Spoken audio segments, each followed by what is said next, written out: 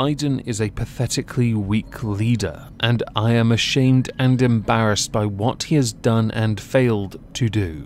Joe Biden is a placeholder. The only question that has ever mattered was how long he was going to be a placeholder. Welcome everyone to the Moistski News for August the 23rd, 2021. If those two tweets weren't enough of a giveaway, yes, we're actually going to cross the water and address the 46th President of the United States, Joe Biden, who I have argued many times on the weekly political recap stream on this channel with Trups LP, has been given far too much of a free pass, to the point where the vast majority of sources I'm going to link down below come from right leaning tabloids, because nobody seems to have the balls when it's you in charge that is more left leaning to call out Sleepy Joe for what can only be described as ineptitude on a level that is yet to be quantified.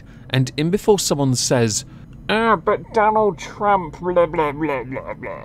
no one is talking about Donald Trump as a president. We are talking about Joe Biden as a president. And I was more than happy to call Donald Trump out when he made mistakes. And yes, it didn't happen often. On last week's political recap stream with Trupslip, which is also on Spotify, both linked down below, we made it a point to dedicate the vast majority of the show to not only us saying um, but also to the Taliban, essentially reconquering Afghanistan, along with providing context about how it happened and why it happened. The why part is quite interesting, because that can in fact be traced in part to Joe Biden. I did see a lot of people say, actually, it's all Donald Trump's fault. Okay, well, you can blame whoever you want. Joe Biden himself eventually conceded the buck stops with him, so that is how I am going to treat this.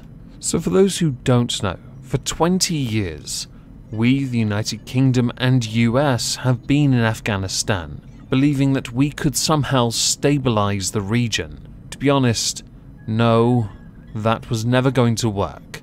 We all know this because the Middle East has been a war zone for generations, long before we got involved. You can trace it back hundreds of years. It's never going to stop.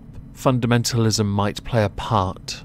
But over those 20 years, what we tried to do was teach the Afghani people Western values, but also teach them to protect themselves, which sadly did not yield the desired results, meaning we have stayed there for a long time, trying to help, but not quite get it right.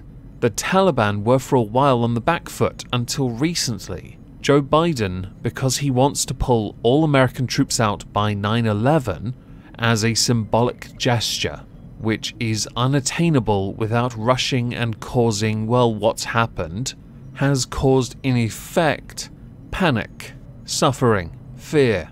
He has, because of one decision derived from misinformation on his part, which come from reports that he has wrongly quoted, believing the government could survive without them, and we know this is a misunderstanding because Defense Secretary Lloyd Austin said that the intelligence assessments concluded the Taliban would take over Afghanistan months to years after US withdrawal, essentially proving the point that the only reason they were kept at bay was because of those who were serving there, i.e., US, American, and any other nation involved's troops.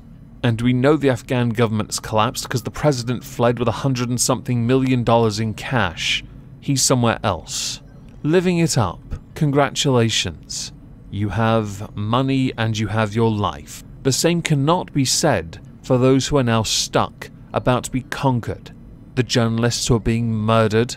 How dare they report on this? I assume Afghanistan's going to become like North Korea, only state run media. Approved, of course. Two notable names have called out Joe Biden for this mistake. One of them, you all know who he is, we'll get to him last. But the first one you might not have heard of. For 13 years, this man run the United Kingdom.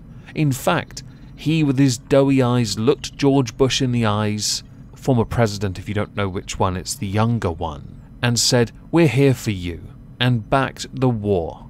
Oh boy. I am, of course, talking of the globalist, philanthropist, Ramona former Prime Minister warmongerer Tony Blair, who believes that this pullout is tragic and a waste of 20 years' hard work, and that he also hoped that the sacrifice made by UK troops, including those who died, was not in vain, because achievements in that country over the past 20 years included a generation that grew up without Taliban rule. He also believes that Britain has a moral obligation to stay in Afghanistan until all those who need to be are evacuated. This comes from a statement from his website. He also took a shot at Joe Biden, who constantly referenced the wars in Afghanistan as the forever wars, saying we did it in obedience to an imbecilic political slogan about ending the forever wars, as if our engagement in 2021 was remotely comparable to our commitment 20 or even 10 years ago, in circumstances which troop numbers had declined to a minimum and no Allied soldier had lost their life in combat for 18 months. Now, I do want to say, for the sake of it, many people will take what Tony Blair says and discard it, because he is a factor in all of this that it started anyway. However, I've always said when someone is right, it doesn't matter what they've done before, they are still right. And Tony Blair is, and I hate to say this, he's right. This slogan of ending the forever wars has come at a cost. It has been rushed, and it has come from somebody who others have described as running an autocratic government, with people being too afraid to criticise Sleepy Joe, a name which apparently the Prime Minister of the UK has started referring to Joe Biden as as well, with our own what we call special relationship becoming strained because of this decision, to the point it is believed Boris Johnson on the 31st of August at the G7 summit will try and get Biden to change his tactic because this one is reckless. And obviously, I have to point this out. Yes, Donald Trump did in fact call out Biden for the greatest military defeat of all time, and that this is a total surrender that would have never happened if he was president. That is a paraphrased quote. I only found one source on that from the Daily Mail, because everyone else was calling Trump out and mocking him because he was being booed when he may have implied a little bit, maybe suggested actually, that people get the vaccine in Alabama. Is what has happened a total surrender? By pulling out, Biden has essentially washed his hands and gone, it's now down to you. I find it quite fascinating for somebody who is a Democrat to reduce military action, which is normal from what I've been told, but to do so in such a way that endangers other life while considering themselves a globalist. That's interesting.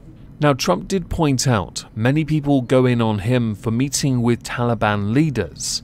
His response was, Who the hell am I supposed to be negotiating with? Because he had made a conditional peace deal with them in 2020 to reduce the number of Afghan troops if the Taliban did not provide support to terrorists.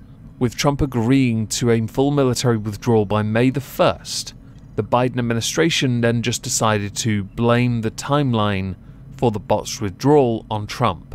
But we're in August. What's happened has happened over the last couple weeks. Whether it started in May the 1st or not, with the number of executive orders you signed, surely one of them would have included you saying, How about we don't do it then? And we know how many you signed. You signed more than anyone else. In your first, what, week? Anyway, as I'm done with this, I'd like to know what you think. I'm going to link everything down below. Do let me know. Drive up the engagement, smash the like, leave a comment. Thank you all for listening.